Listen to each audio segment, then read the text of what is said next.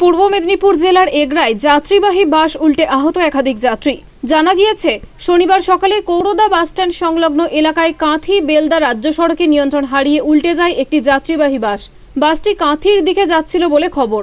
স্থানীয় বাসিন্দাদের তৎপরতায় আহত বাস যাত্রীদের উদ্ধার করে এগরা সুপার স্পেশালিটি হাসপাতালে চিকিৎসার জন্য নিয়ে যাওয়া হয়।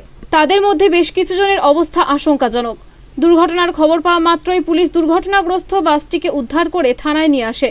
চালকের খোঁজে তল্লাশি শুরু করেছে পুলিশ। পূর্ব মেদিনীপুর থেকে সুদীপ্ত আগুয়ানের রিপোর্ট আনন্দ বার্তা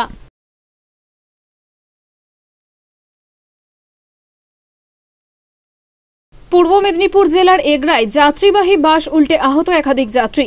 জানা গিয়েছে, শনিবার সকালে কৌরদা বাসস্ট্যান্ড সংলগ্ন এলাকায় কাঁথি বেলদা রাজ্য সড়কে নিয়ন্ত্রণ হারিয়ে উল্টে যায় একটি যাত্রীবাহী বাস।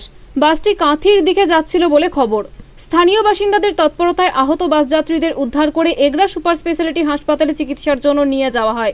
তাদের মধ্যে বেশ কিছু জনের অবস্থা আশঙ্কাজনক। দুর্ঘটনার খবর পাওয়া মাত্রই পুলিশ দুর্ঘটনাগ্রস্ত বাসটিকে উদ্ধার করে থানায় নিয়ে আসে। চালকের খোঁজে তল্লাশি শুরু করেছে পুলিশ। পূর্ব মেদিনীপুর থেকে সুদীপ্ত আগুয়ানের রিপোর্ট আনন্দ বার্তা